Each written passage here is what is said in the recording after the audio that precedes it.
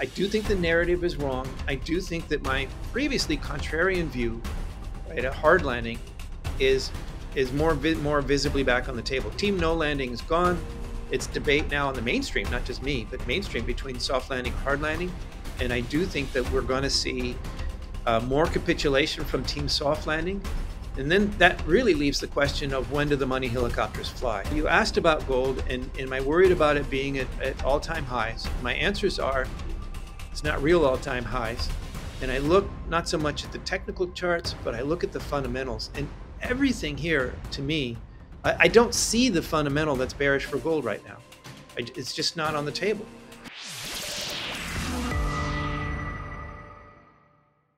Hello and welcome back to Soar Financially, where we discuss the macro to understand the micro. My name is Kai Hoffmann. I'm the Edge Air Mining Guy on X, and of course, your host for this conversation. And I'm looking forward to welcoming back Lobo Tiggre. He's the uh, the independent speculator, probably the most what do you call it? Like the most returning guest, the guy, the, the, guest who we've had on the most. But I've really, really enjoyed chatting with him. Uh, he, he's fantastic. Like although he claims he's not an economist, but uh, we really, I love discussing the economy with him. And of course, we're going to talk gold, silver. I'll, I'll, throw in a question about uranium as well. And of course, we need to talk sentiment in junior mining. Curious uh, if he mirrors my my impression from uh, the Beaver Creek conference um, whether junior mining sentiment is, is, slightly ticking up and whether we're on to uh, greener pastures here uh, over the coming months. Really curious what his thoughts are on that. But uh, before I switch over to my guest, you guys know the spiel. Kindly hit that like and subscribe button. It helps us out tremendously. It's not just a vanity factor, it helps us out broadening our reach, and uh, we really appreciate it. So thank you so much for that. Now, without much further ado, Lobo, it's fantastic to have you back on the program. It's good to see you. Happy to be on the show, Kai yeah, really looking forward to the discussion with you because uh, we have a bit to catch up on. We last spoke uh, in mid-July, uh, pretty much when the S&P 500 peaked um, at about 5,700, 5,710 points. Since then, we've had a Fed rate cut, and uh, you know, back in July, we only speculated about what that would do. Now we have some facts, and uh, Lower, we need to investigate how has the market behaved, how has gold behaved following that rate cut. Was everything already priced in? well, clearly not. If you look at gold, starting with that one, not priced in. Uh, but there's an interesting part that you haven't brought up with that July. July was about when the long and variable lags, if they lasted an average length, which in the US is said to be around 27 months, kind of depends on whose numbers you look at.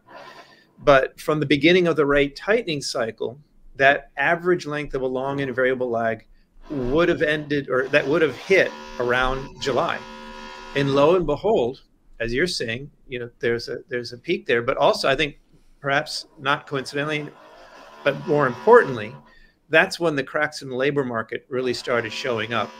Thing that a thing that I had long been saying this is going to happen. This one apparent source of strength in American exceptionalism, this uh, consumer that won't stop spending because the job market is so tight. You know, when that cracks, things start changing. That started in July and the cracks you know now they've gotten big enough that the mainstream is is admitting it you know the, the 818,000 jobs that just disappeared right on that revision.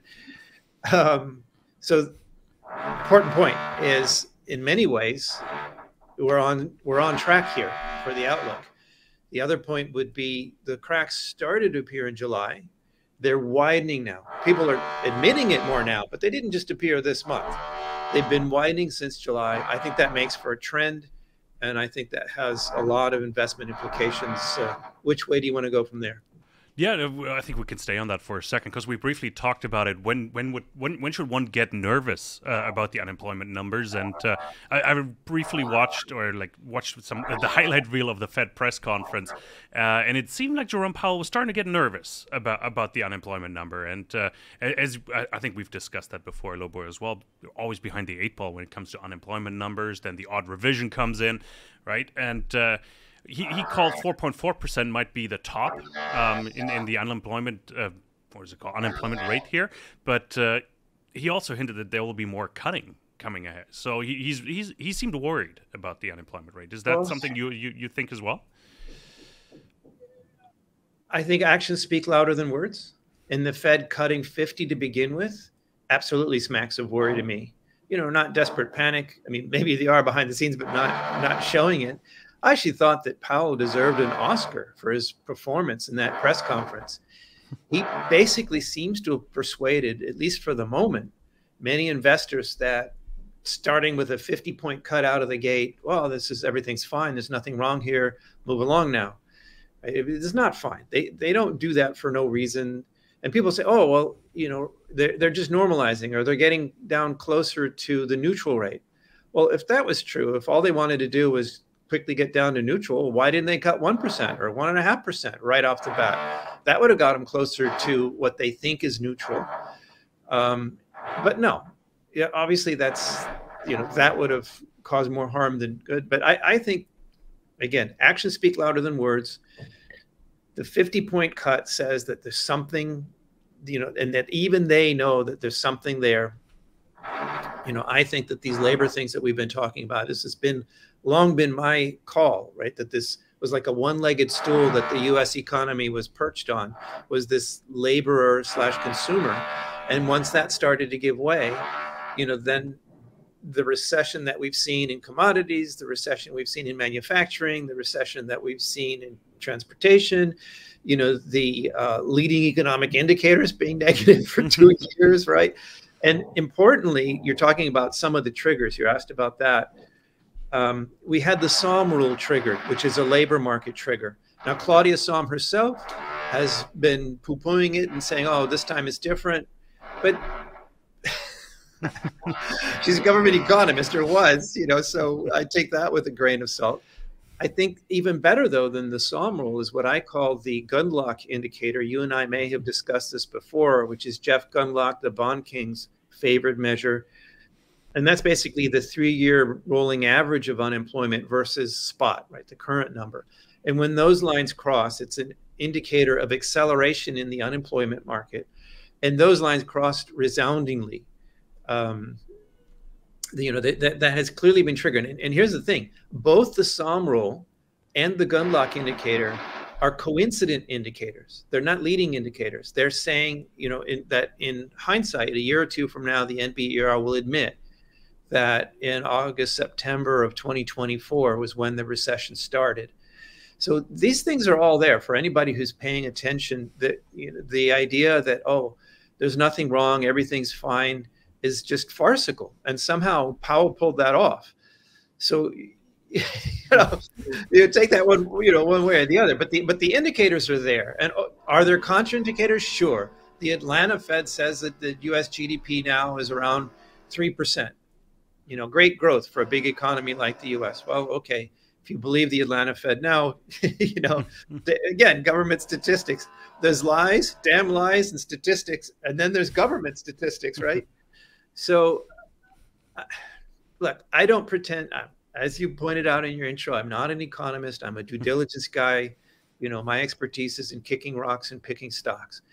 But since the profession of economy has broken models and they are so bad at what they do overall. I think every investor has to, in self defense, um, become a bit of an amateur uh, economist. So, you know, do I get everything right? No. But I tell you what, I've got a better track record at predicting recessions than the Fed does because they've never done it. Absolutely true. And uh, you correctly predicted, by the way, the 50 basis point cut. Like, well, the market. No, like sorry, after, uh, I got it. No, no, sorry. I was in the 25 camp. Hold on, I got I got the notes here from our July interview. Here, let me. Yo, did I really let say? me pull that up. Hold I on. I must That's have what, said it was possible. Uh, yeah, this could involve, like, of course, as as good interview guests, you know, you always leave a back door open for all eventual eventualities. But uh, you sort of involved. You you mentioned this could involve a 50 basis point cut by September, like a proper bona fide Fed pivot. Uh, um, would would include that and. Uh, I, I, was in that camp as well, based on the unemployment rate. So. Thank you for saying that, Kai. I'm not going to cherry pick. I, I, must say that in my free weekly letter, I had been saying before the, the Fed meeting, like more recently, I had been saying that 25 seemed likely. Now, the reasons for what I said, you know, the Fed pivot and the 50 and more, I think they're still there. Like this labor market coming apart. If I'm right about this, we're going to see a lot more cuts. And, you know, we're going to see a, a, a substantial shift in policy. Uh, but according to the numbers that they admit to, right? You know, I I'm an independent thinker. You can say I've got a tinfoil hat on, whatever you like, but I don't accept the GDP now cast from the Atlanta Fed, and I don't accept much of the narrative. I think the employment numbers are much worse than the government admits to. Like even if you use the U6 number, which is what the unemployment number used to be before 1994, um, you know that's over seven percent. So even according to the way the government used to call unemployment and still measures it itself, like taking the other side's number, things are much worse than they're letting on. You know, and so when people say, "Oh, unemployment's lower, it's historically low, it's near 50-year low," well, no, it's not, because the way we counted it 50 years ago was not U3 what we use now; it was what we are close to what we now call U6. So anyway, uh, you know, all of that is still there on the table. But looking at the numbers that the Fed and the mainstream economists make their prognostications on, you know the the overt signs of trouble weren't that strong. So i thought that the 25 was more likely. And sorry i don't want to beat that to death but maybe the, the important takeaway from this is that they haven't yet capitulated. They haven't you know you know the fact that 818,000 new jobs just disappeared um, you know they've acknowledged it but nobody's really admitting how serious that is and if you take that and you annualize it, right, it's around 70,000 jobs a month. So if you subtract 70,000 jobs a month from the official numbers that we're getting, the US job growth is not keeping up with the population growth right now. We're, we're actually in a contractionary phase, I think, if you look at it in any kind of objective way, which of course, you know, you can't count on the fox to guard the chickens, and that's, you know, how the government works.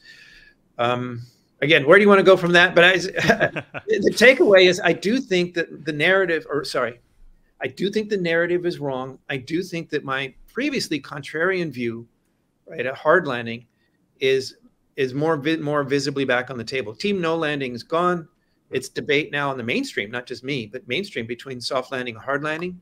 And I do think that we're going to see uh, more capitulation from team soft landing and then that really leaves the question of when do the money helicopters fly? And and bear in mind that this isn't just the Fed, it's also fiscal policy. And if you talk to Lyn Alden, then you know what you know her thesis on fiscal dominance. It has huge implications for investors. Now, lots of good points there, Lobo. But uh, I really want to discuss the, the, implications of what the Fed has done now as well. Like it, it seems a bit like a drop in the bucket. Personally, like it'll probably take some time for it to trickle through. Um, I'm hearing more problems actually on the real estate side, which I thought might be the first indicator of things turning around yet again or reacting to a uh, to, to a rate cut. But I'm hearing the contrary. More like oh, what was the August number? I think uh, housing starts and uh, no, sorry, existing home sales was the number I was looking at last week. Was the existing home sales was dipping despite everybody expecting a Fed rate cut and lower mortgage rates. So it seems like there's a trend that seems to be accelerating as, as well. So what is that Fed cut supposed to stop, and uh, can it where, where do we see implications of that Fed cut? Okay, bearing in mind, it's better to ask me about pyrite versus chalcopyrite than you know housing starts versus permits and stuff. I'm I'm not a housing guy or a REIT guy. Just an um, example. That was just an but, example but I like to use. That so. said, um, actually, the very most recent numbers that we saw in housing I thought were a slight improvement, very slight, but a slight improvement. And to me, the, the really interesting thing is, you know, people say, oh, this is going to be great. You know, we're, we're easing up and, and this will bring costs down and, and CPI is going to come down more. But I, think that, you know, be careful what you wish for here. Lower rates could actually increase housing prices because we've had this problem for years of all these people locked in at low mortgages, not wanting to move because if they got any new mortgage, it would be much higher. So you you've had this, you know, this freeze up in the real estate market. So people are talking about how mortgage rates now are dropping towards the magic number that they assume, think, imagine, hope, pray mm-hmm. is what's going to loosen up the real estate market. If that happens, um, you could see something like a feeding, feeding frenzy, which instead of making housing cheaper, makes it more dear because there's more participants. The demand, the people who don't want to sell now say, oh, well, now I can sell and it's a better market and people can afford their mortgages more. So I'm not going to drop my prices. I'm going to hold my prices high. And the people who are looking to buy might say, well, gee, you know, I've been waiting for more affordable rates since 7%. And, you know, now's my chance. So, okay, I'll hold my nose and I'll pay a higher price because because my interest rate will be lower. So this could actually boost housing prices. I'm not making a prediction. Again, I'm not a real estate guy. I'm just saying that the assumption that people make that this Fed policy pivot is going to help real estate, uh, or rather, bring the cost of housing down. It may help the market liquid, become more liquid, but that doesn't necessarily mean that it'll bring the cost of housing down, which is a huge component of CPI. Yeah, no, I, I fully agree. Like I'm just looking at the the United States new home average sales price over here, and it, it has been declining, but it's it's dropped from let's say 526,000 to 517,000. So does Ooh, that make a big difference? Like there is a trend, but I think uh, we we can agree that housing hasn't really come off, especially in, in popular areas, of course. Um, areas where the, let's let's call it the the COVID run up happened, like Florida, Austin, uh, or places in Texas. Prices haven't come down or sorry, prices are sorry, prices are coming down in those areas because people are selling their COVID properties. Let's call them that. But in other markets, I don't, I don't see that happening. So I find that quite interesting. What what that will do, and uh, as as you said, I think inflation will will stay high if we include housing, and prices will stay high. Like why why would they drop? Like as as you said, like there's no correction. Like there was nothing to change in in that regard. So but again, and then the, the other big input to CPI, sorry, switch gears, but I'm just thinking because this is so important for CPI. And again, yeah. CPI is a bogus number. I get that, but it's it's what Wall Street cues off of. So if you're going to play in the markets, if you're going to buy and sell stocks and bonds and things or whatever, you can't just ignore the data that you know the big funds and the majority of the investors cue off of. So so this housing question, I think, is very important. The other one is um, energy prices and oil in particular, and you know, gasoline both has a big impact on CPI, but it has a big impact on the psyche of the consumer out there. And if you think about it, with a hot war in the Middle East escalating, it's really astounding that oil is only seventy dollars a barrel. If if you had told me a year ago, which would be before the October, you know, horrific uh, events in Israel and Hamas, their, you know, kidnapping and all this stuff. Um, if you had told me a year ago, before that happened, that something like that could happen, and Israel would have just, you know, attacked thousands of Hezbollah operatives in Be- in Lebanon and be bombing in Beirut and around Lebanon now, plus a ground war in Gaza. And you know, I would have thought that oil would be triple digits for sure. And and I think most analysts would have thought that. The fact that it isn't, I think actually underscores just how weak global demand is. In an environment like that, and, and it's not just, oh, there's a war and it could be bad for oil. I mean, there's a war and it has, through the Houthis, shut down uh, or restricted shipping through the Red Sea and the Suez Canal. I mean, it is having an impact. Um, and that's not to mention the other war and what's happening with you know Russian supply of fuel and, and that. So I, I I think that the uh, deflationistas or disinflationistas have been getting a helping hand from oil prices in particular, but energy not jumping as much as it normally would under these kinds of geopolitical uh, circumstances but I don't know how long that that holds, and if it heats up much more, and it is heating up as you and I record. Um, I, again, I'm not making a prediction here. I'm I'm just saying that the team soft landing has benefited from an extraordinary circumstance, and you know what you know, if you're if you're projecting, if you're speculating, you're casting forward in the future, you want to bet on an extraordinary circumstance continuing or a more return to normalcy. And so what I'm saying is that's a long-winded way of saying is I do think that oil prices will tick back up. You know, if we go into full-blown uh, recession or if the recession deniers, as I call them, capitulate, right? And people have that, oh my God, moment. Yeah, oil will, oil will go down, energy will go down, copper, industrial minerals, the, the, the instant reaction will be down.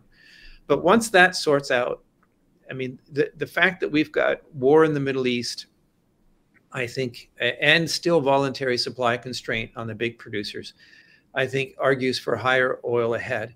And if the war in the Middle East gets hot enough, it could even overcome the recessionary ne- negatives that I see potentially in the very near term. Uh, long and short of it is, I'm not rushing out to buy oil stocks today. Today, so please don't take what I just said as a recommendation to go buy buy an oil ETF or something, you know, right now That's that's not what I'm saying. I'm saying I want to watch and see how this balance plays out. I think the recession is more certain right now, and that's bearish for oil in the near term. But if the war heats up more and we start seeing oil take off despite economic factors, then then I think the war trumps the recession, at least as far as oil goes.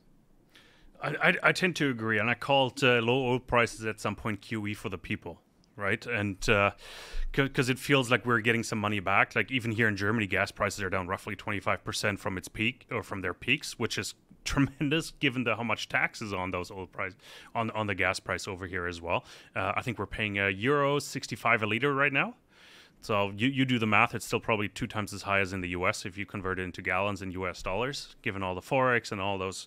I think, what is a gallon, three and a half liters? So you do the math, three and a half times 1.65 everybody's got a calculator at home. Put it in the comments down below so we can share that with everybody. But uh, it, it is interesting. It is QE for the people, and trying to keep people engaged and the service sector humming, especially in the U.S., is important. Where the gallon costs like two dollars and eighty cents right now. So. And uh, but but interesting fact. I'm curious if it ticks up now after the summer, uh, more of a psychological factor because people were traveling, and uh, maybe the U.S. wanted to keep people happy over the summer so that they could travel. I'm curious if that ticks up because, as you said, like I personally think we should be triple digits uh, as well, like hundred dollars easily, based on what we've been seeing. But um, I think I interviewed Doomberg uh, like six months ago, and t- he mentioned the U.S. is very strong in domestic supply, so it, it is independent from what is happening in the Middle East to a degree. It is, uh, I don't know, there is a bit of a moat perhaps, and that's why prices haven't reacted as as much. Is that something you would agree to that thesis? I'm curious what your thoughts are on that. Yeah. Um of course, the U.S. has been selling LNG or more LNG, trying to to sell it to Europe. U.S. being a major producer, of course, it's more self-sufficient. That does insulate things, but these are global commodities and they're fungible. So if you know demand really spikes up globally, there'll be more demand for offtake from the U.S. and that'll push the marginal price up in the U.S. It's not like the U.S. has one price for exports and one price for domestic consumption. So in a way, this could be sort of like uh, Brent Johnson's dollar milkshake. You could think of it as an oil milkshake because it flows so readily from from wherever is cheaper to where is more dear. So yeah, but it's it's um, you know I, I I wouldn't bank on that for for keeping you know I mean okay gas which is more regional right we we get negative prices sometimes if there's a downpipe you know disruption or something and gas prices will spike negative uh, you know, that's more regional. But but petroleum products yeah I, I, my thinking is more global other than you know brief momentary uh, disruptions yeah. Another topic we could probably spend another hour on is the DL or the electrification that has slowed down of all the EVs. Like Volkswagen is making the news that uh, there's not enough demand for electric vehicles. They got to let 30,000 people go here in Germany. I think that's another topic that's I'm quite keen on to, to, to discuss at another time about the oil price because the demand is not going away. Is my point. So it yeah. won't completely implode. Like uh, you know, it won't disappear overnight, like so many people predicted. Wait, you mean the demand for oil or the demand yeah. for the EVs? Oh, for, for, gas, sorry. The demand right. for oil won't just evaporate right. because yes. uh, no, everybody's I'm, driving electric cars. I'm in that. Right? And and again to give credit where due, Lyn Alden was the first one I saw make the comparison between oil and the tobacco companies back when tobacco became, you know, persona non grata and the industry became starved of capital and, you know, few survivors, but smokers still smoked so the demand for the product didn't go away, but supply got constrained. And ironically, the anti smoking crowd made a lot of money for investors in the companies that were able to meet the demand. I see the exact same thing happening in oil. It's an excellent metaphor. The capital has been constrained already.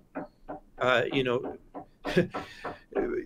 the current administration couldn't understand why American producers didn't drill more when, when prices were high, at the same time ratcheting up the regulations and yanking licenses and making it difficult for them to apply for new ones.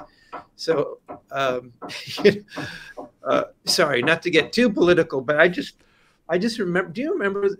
I know that you're German, but you know we look at the U.S. because it's a bellwether. It sets the prices or the trends for commodities, and most of them are quoted in dollars. So we have to pay attention to what the US does and, and how it impacts the US dollar. Though I do understand that the world is larger than the US. But do you remember when Biden gave his State of the Union address a few years ago, and and he thought he was being conciliatory. He thought he was offering an olive branch when he says, "Oh, I understand. We're going to need oil for at least ten more years." exactly. Like one half of the of the Congress just erupted in laughter because it was such a clueless and out of touch statement to make. But if you drink the, you know, the environmental extremist Kool-Aid, I mean, that's that's the mindset that's so disconnected from reality. But the, the point is to agree with you, yeah. And but and and the and the Lyn Alden point though is that this is a source of opportunity because it's necessary. It's not going away. Sorry, Mr. Biden. It's going to take ten more than ten years, even if you build all the windmills you want. Um, and and and so the people that have the goods the companies that have the reserves and have the ability to you know the pipe you know all that stuff the better players in this space i think uh, offer potential for excellent returns but i'm personally very keen to go there but not until i'm sure that the recession has done its worst once the recession deniers really capitulate and people say oh my gosh you know we will see almost guaranteed a, a negative spike in almost everything. Um, but then afterwards, afterwards, then all this stuff comes into play. After the recession, I like to say the two absolute no-brainers in my mind are oil and copper. Everything else, uh, monetary metals are different. I'm talking industrial minerals and energy commodities. Well, we can talk about uranium too, but anyway, like lithium or nickel or whatever, I want to see what is the market doing at that time how is the, you know, are the EVs coming back on the other side of the recession? They may or they may not. We don't know. But even if they don't, copper's coming back, oil's coming back. I have no question, given the dynamics of supply and demand in both of those commodities. They're both no brainer buys as soon as I'm confident it's time to start buying industrial minerals again. No, fully agree. I'm really curious what the copper price is doing. It's already decently at a decent level. What is it, four thirty a pound right now? So it's not far off from the five dollar top that we've well, seen. it backed off quite a bit. It's bounced off recently. Interestingly enough, the the Fed rate cut that, that we started this conversation with had a positive impact. But don't kid yourself. If you know, you know, if I'm right about the recession, you know, being becoming more and more evident that we're headed for a hard landing, like the next employment numbers coming in lower. And remember, we've got until November for another Fed meeting. So there's quite a few data points here to come. If if the labor market keeps softening the way I think it will, you know, uh, these curves, when the labor market turns and unemployment goes up, it's you know, in almost a hundred years, that always accelerates. And when people say, "Oh, look, it's still low," it's fine. It's fine. That's not the point. The point is that it, you know, you're talking about still low at the beginning of a hockey stick. and the hockey stick always goes up. So that's where we are now. That's why I'm confident that we're going to see scarier numbers on the employment front in the next month or two. And and and then we'll see. It's interesting. You keep mentioning like soft landing, recession, and uh, one thing I've noticed in the in the recent weeks here in the in the media and the financial mainstream media that I follow as well. I have to. Uh, it's partially it's my job as well, but uh, I've been reading terms like prolonged downturn, soft landing. I've been reading more of those terms in the headlines lately, and one of them right now I'm just looking at is luxury stocks slip as fears grow of a prolonged downturn. Those are those are terms and headlines I haven't seen before. Right? It was more right. no landing, center, no worries about it. The center of gravity. I can't say I was a lone wolf because Peter Schiff and some other, you know, uh, hard money advocates out there have been in with me on Team Hard Landing, but you know we're the tinfoil hat crowd as far as the the Fed is concerned, and, and so on. So for the mainstream, we have been lone wolves, scattered lone wolves out there. Uh, and now the the center of gravity of the conversation is shifting in our direction. You know, we're we're not shifting in the direction of oh yeah maybe things are much better than we thought. They're shifting in the direction of oh maybe things aren't as great as we thought. And, and I think to the beginning of our conversation, the the Fed's fifty point cut actions speak louder than words. Uh, you know, Powell did a, a, great job sounding confident and everything's fine, but actions speak louder than words. And I, I think we're going to see that borne out in the numbers going forward. No, well, you tried earlier in the conversation to, to bring in gold into the into the into the mix here. Now now we're going to spend some time on it because I'm really curious what your thoughts are on the gold price. We're we're every day it's a new record all-time high here for the gold price. So we're a bit spoiled but of course like i'm trying to understand how much momentum is left. And uh, i asked you before about the general market but how much is priced in? 50 basis point cut or another 50 basis point cut by the end of the year is supposed to happen. Um, and geopolitical events as well. So i'm curious sorry let me, let me add a third topic as well as the dixie the us dollar. And um, i'm really curious to, to get all those three things into the mix like how much gas does gold have left in the tank, and what what price levels should we be maybe expecting? Well, you know, I don't like to do predictions. The prediction racket is one of my pet peeves. Uh, am I nervous about all-time highs here? No, they're nominal all-time highs. Actually, um, I need to publish this chart somewhere. I don't think I put it in the free digest because I just put it in the in the independent speculator. But I need to publish this chart. If you look at gold adjusted for inflation, and that's just using the government CPI, not any real, real more realistic number for inflation, um, gold is not at an all-time high. Gold is just barely, uh, almost. It hasn't yet, but is almost back to the 2011 high. And to take out the 1980 high, it would need to go over $3,400 an ounce. So if you want to talk about, you know, okay, now gold is really, and I mean that in the economic sense, it's really high, then you're talking well north of three thousand dollars an ounce on the exchange rate. And so we're we're we're well below that. Now, you know, that said, you know, I I don't want to be the cheerleader who says, "Oh yeah, buy an all-time high. It's fine. It can only go higher." So please don't take that wrong. And That's not what I'm saying. I, I don't want to lead a herd of lemmings off a, a huge cliff.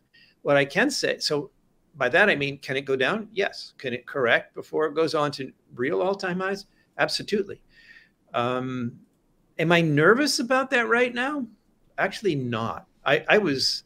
I remember in 2011 when gold really just went on a tear, and you know, bear in mind that that that that rip up to 1900 was more than double in nominal prices the 1980 peak.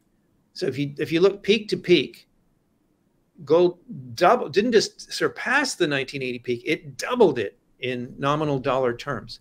To do that again this time actually implies like $3,800 gold.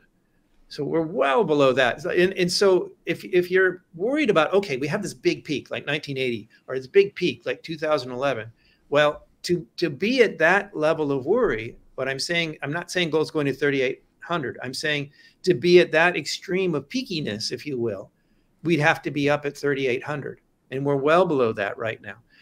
Um, but that's not really why i'm i'm not nervous these days. I, i'm i'm not a chartist. I'm i'm not a ta i'm a fundamentalist. And i look at what's going on in the world today you know the two hot wars either of which could become world war three um, you know, the Fed going into a loosening cycle, which has always been good for gold.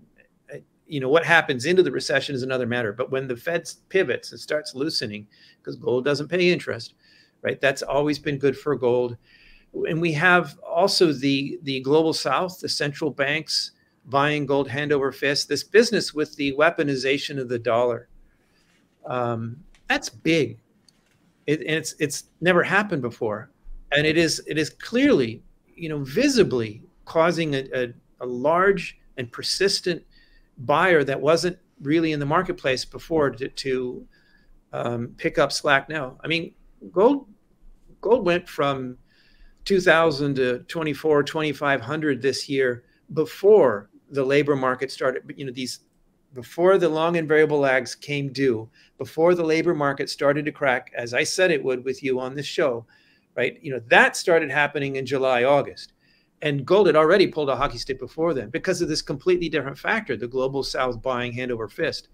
I also think this year that uh, not just sovereigns uh, and central banks, but I think big money around the world is starting to allocate to gold. Uh, you know, people say, "Oh, well, neither war has really blown over yet." Uh, you know, are blown up yet. So it's, it's not that big a deal. No, I think the fact that they're happening there and they're not going away. Anybody, you know, think think of imagine. I don't know how wealthy your family is. Uh, Kai, so I don't want to insult or, or compliment anybody unduly here. But imagine that you came from really old wealth, like your great, great, great, great, great, great, great, whatever grandfather was the, you know, Duke of somewhere in, in Bavaria or something. And, and you've got a castle and you've got vaults full of gold and all this stuff and whatever you've, you know, you've got old money, deep pockets that go way back. And the last thing in the world you want to do is lose it, right? You don't want to be the guy who, who squanders the family fortune and you look at the world today and do you you can imagine looking at the world and they say yeah no we don't need no more stinking gold you know let's buy nvidia instead right? You're gonna you're gonna make that bet with a family fortune that goes back a thousand years? I don't think so right? Depends if i'm the third generation or not right? So, well okay. I understand the reference. But but you hear what i'm saying i think. You know and i don't and it's not just i think around the world this is a, a, thing that our friend Rick Rule likes to say that the, the global allocation to gold over the decades, like four or five decades, is around 2%. And recently it's been around half a percent. So it doesn't need to go nuts with everybody becoming gold bugs, but a simple reversion to the mean implies a 4x demand, four times more investment demand for gold. I don't know that it even needs to revert to mean. If it goes halfway back, just a little bit you know a greater sense of people saying you know what the world's kind of scary it wouldn't hurt to hedge my bets with something governments can't print and by the way still works if the electricity and the internet turns off so it doesn't take much of that to, to literally double if you go from half a percent to 1% just 1% global portfolio allocation to gold that doubles investment demand um, i'm getting off the side of the side point here but you asked about gold, and, and am I worried about it being at, at all time highs? And my answers are it's not real all time highs. And I look not so much at the technical charts, but I look at the fundamentals. And everything here to me, I, I don't see the fundamental that's bearish for gold right now. I, it's just not on the table. So does that guarantee that gold has to go up? No, I don't know the future. Um, but I am actively looking to add gold stocks and silver to my portfolio right now. Oh, maybe that's an important point. Sorry, real quick. Notice I said stocks, not bullion. Yeah. Like it's at an all-time nominal high. Am I going to go down to the coin shop and buy more ounces today? No, I'll wait for the next pullback. To me, gold, bullion, and silver, that's savings. That's what I, you know, put my rainy day account. Um, and of course, I'll, I'll look for the dips. I, you know, there's never too much savings I can have. I, but I, I'm, if I don't, you know, I don't have to save in bullion today, then I'm going to look for the dips. But the stocks, uh, you know, I'm I'm looking very actively because despite everything I said about gold, uh, the stocks have underperformed. I think that changes. I think it's starting to change. The the majors are leading the way with better than expected performance, widening margins. I think that does trickle down through the whole sector. And I think the well-deserved skepticism about gold stocks from broader generalist investors will cave uh, as these trends that we've been talking about continue to unfold over the next couple quarters. No, fully agree, and uh, that's where we come from. That's that's our bread and butter business, of course, is gold and mining stocks here. But uh, Lobo, you talked about the weaponization of the dollar in your answer here, and uh, I'm looking at the dollar chart, the Dixie chart in particular. That's uh, the gold versus other currencies, and I'm starting to get a little worried if I was a U.S. dollar investor because I'm not a chart technician, but it looks like to me that gold, uh, the Dixie is trying to break down, uh, break break to the downside of the 100 point line, and then the next level would be 90. Um, just very, very like prelim- or basic uh, technical analysis, but it's tested that level three times now. And we've seen it in gold when we've tested something three times and four times, eventually it breaks down or breaks out, right? Um, the question is what happens to the dollar? You know, do, do, you believe it will go to 90? Is it strong enough to fend that off? And uh, of course, as part B of that question, is that extra fuel to the gold rally fire here? Uh, this is kind of like the real estate question. You know, I'm not a forex trader. okay. I'm a due diligence guy. but but just this it's like general observation. And Brent Johnson would probably be a, a, you know an excellent person to ask this question of. I do not have a DXY target. I would just remind people as a fundamentalist, right? There are times when gold and the dollar move up together. So for particularly like geopolitically, you know, the Ukraine war breakout or the second one, or actually both of them, right? The dollar and gold move up at the same time you know something scares people and there's a knee-jerk reaction to safe havens and rightly or wrongly that still includes the dollar so there can be times when they both move up together. And by the way, rate tightening cycles, at least this century, have been good for gold and the dollar at the same time. Uh, you know, everybody says that higher rates are bad for gold because gold doesn't pay interest. But if you look back at 2004 and you know you look back at you know the the 2020s as very visible examples, it's just not true. Um, but falling rates have been good for gold. That that part does seem to be true. So we'll see. um, so no, I don't have a dollar forecast. I'm just saying you, you can't bet on it always being opposite. Though generally, of course, gold is still quoted in dollars. So bearish dollar is good for alternatives to the dollar, which include gold. Uh, no, I'd also say that remember it's a race to the bottom. And so just today, as you and I are recording, we had pretty negative economic news out of the East, the EU, in Germany in particular, right? The uh, but the EU-wide numbers, were, PMIs, were also not so good today, and so it's silly that that doesn't make the dollar any better. It doesn't mm. make your dollar buy any more food at the store. It's still losing value. But this is a forex question if you if you're looking at the dollar compared to the euro, the dollar looks better compared to the euro. By the way, just before we started recording, I checked, and the Dixie was up slightly, not much, but it was in the green, and gold was up too. Gold was up six bucks. The Dixie was up 0.1 or something. I don't know, but they were both up this morning. So that just goes to show you that there can be confounding variables. I guess what I'm saying is, though the dollar may deserve to head lower given all the insanity that we're getting from Washington and by the way, both candidates, the tax and spend candidate and the spend and tax candidate, both of them have highly inflationary agendas of lots of spending coming up. Um, and it's bearish for the dollar. But the dollar's up today because today's headline is, oh, scary economic news out of the EU. Right? So you, can't just take these things in a vacuum. So I'm not sure I helped much there. Didn't give you a target. Um, but I, I, guess if there's a takeaway for the for the mining and, and monetary metals fans out there is uh, don't obsess on the dollars, you know, wiggles and moves. Look at the big picture. And there are times when the dollar and gold move together. Mm-hmm. No, I appreciate that. I was like, and I really appreciate your take on that because I'm just looking for tidbits of information, something to hang your head on, maybe to, to predict where, where prices could go right? So it's like I'm not expecting price targets or anything like that's way out of my wheelhouse anyway. So I'm just looking at momentum. That's really important. Do we play the momentum to the downside, to the upside? Doesn't really matter to me. Like as long as uh, we we know where we, we pretend to know where things are okay. headed. And, All right. Uh, well, I have another idea right? for you then. It, this is not a today or tomorrow thing, but as this unwinds, right? We have this race to debase. We have the race mm-hmm. to the bottom. We have this forex question, and there are other forex questions, but euro dollar is a big one. It's an important one um, they're the Fed and the ECB are, are cutting. The Fed's cut started out on a bigger one than the eurozone cut, right? The ECB cut. So you know that might argue for a, a, greater weakening of the dollar. You know, stick that in your in your hat to, to think about. But here's the like the the fundamental picture though is the EU famously has a lot more social support networks. It can, in a way, handle recession more than the U.S because it has such general, generous, such more generous than the U.S. Anyway, uh, safe, safety network, the social safety network is there. It hits the U.S. harder, and so on the downs, on the upside, that you know that's very expensive and it limits Europe's growth. On the downside, you know those safety nets kick in and it it softens. It's a safety net, right? It, you know it catches people and prevents them from getting as hurt as they might otherwise. So that blunts the impact on the downside. The US having less of that makes the US more vulnerable on the downside. So, in the race to debase, in this global, deepening global recession that I think we're in and, and heading deeper into, it may well be that the US suffers more than Europe.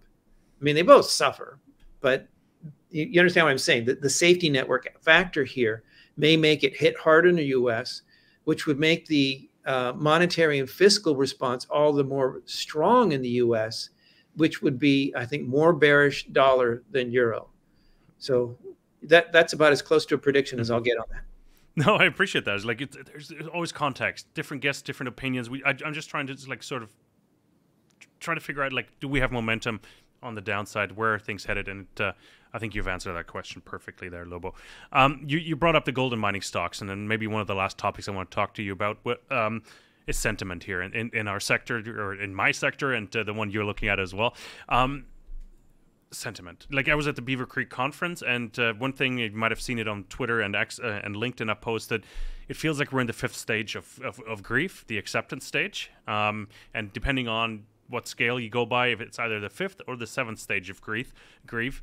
But in the seventh stage, there's also hope, right? So uh, acceptance and hope, and it feels like that's where we're at. A lot of the companies saying, "Hey, we got the goods, let them come," right?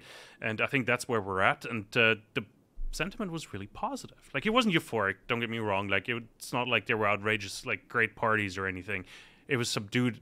Eu- uh, euphoria, subdued euphoria. That's maybe not a bad term actually, but um, what are your thoughts? What are you seeing? What are the charts telling you? What are you hearing from the companies?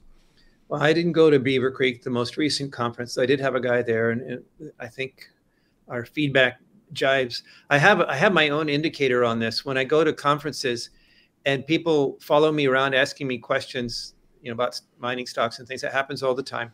When they follow me into the bathroom, that's when you know it's starting to get more euphoric. And then, you know, the number of people who follow me into the bathroom, like if it's one guy following me into the bathroom, that's, you know, medium euphoric. If it's two or three, that's very euphoric. If it's, if a group follows me into the bathroom, you know, that's when we're in the mania phase of the market. so we're not there yet. Um, the most recent conference, I think I've only had one guy follow me into the bathroom once. So not, not there yet.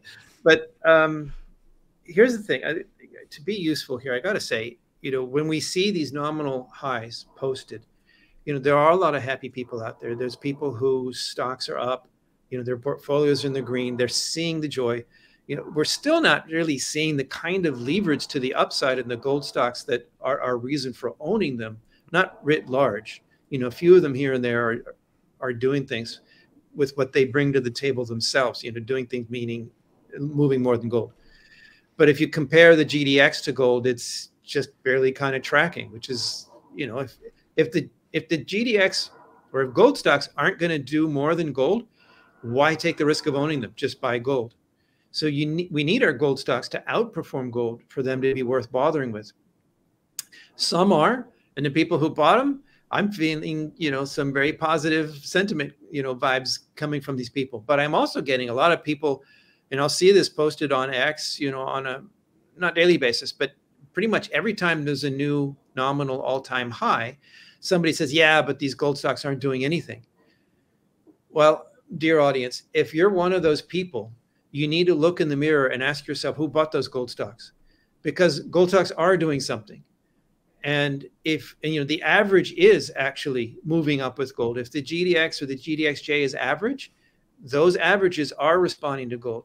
So if your gold stocks are not, then you need to ask yourself something about gold stock selection. Of course, I don't want to just you know move up with gold. I want to outperform that. I want to do better than the than the indices. And historically, on average, I have.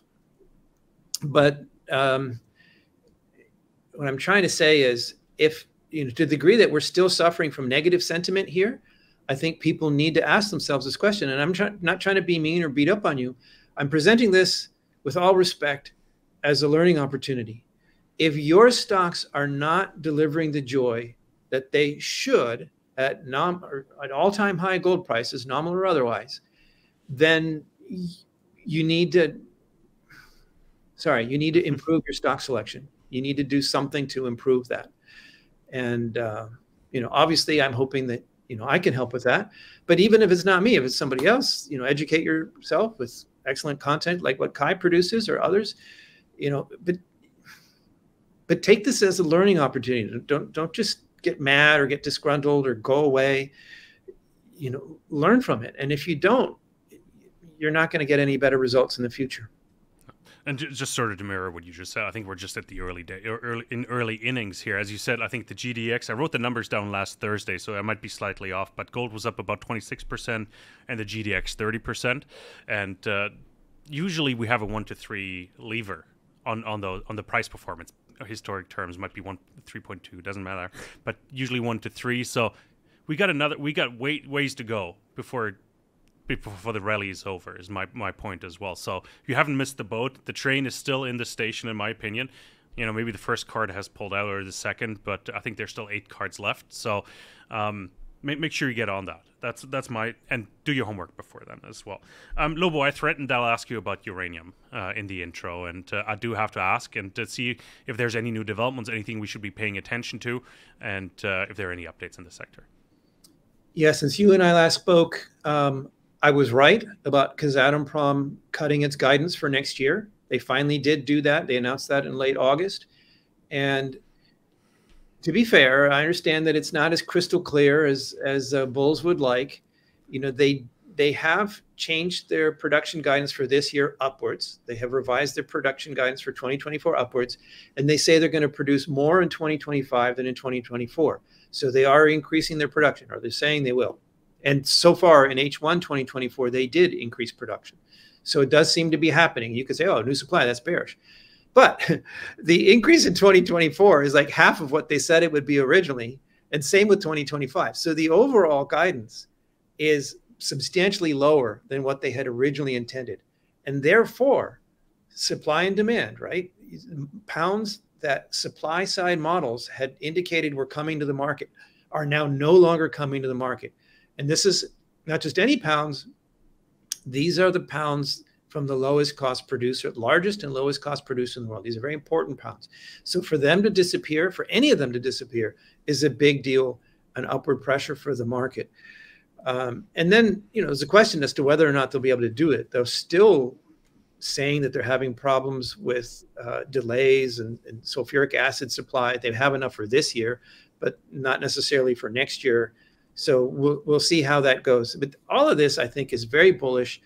And there was a, a, a you know an instant reaction to the positive on this, but then things settled back down again. And I'm not sure exactly why the market is misreading this. It may be that they have heard people like me or Rick Rule say for many years that 70 $80 would be the incentive price, and that they look around and they see uh, not just the big producers ramping mothball production back up again, but the juniors bringing new mines online or mothballed mines online.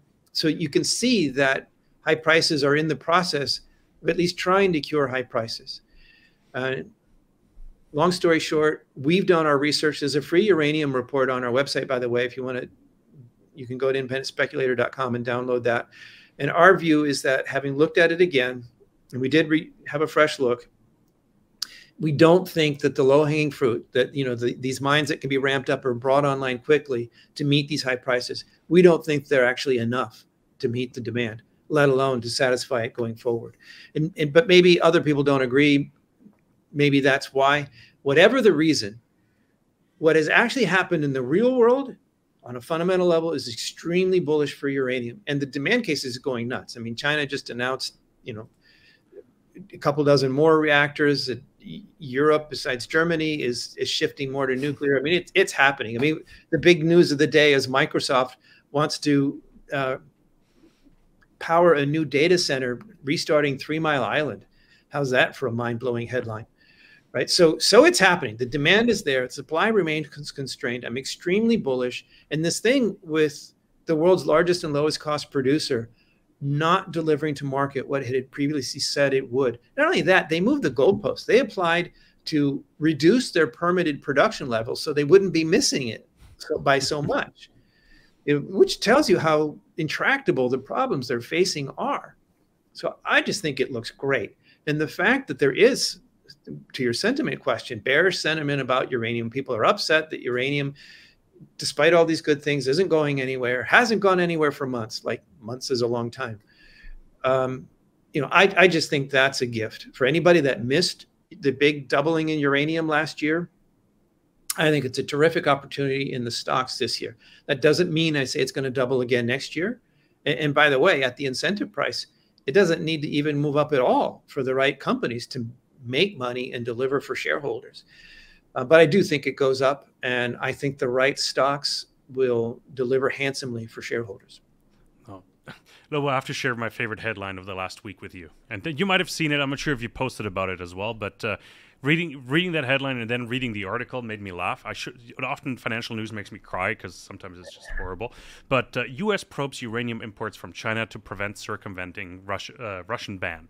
And then I read further in the article, China hasn't imported or sold any uranium to the U.S. F- for years, and then all of a sudden it just spiked out of nowhere in 2022. Wonder what happened there.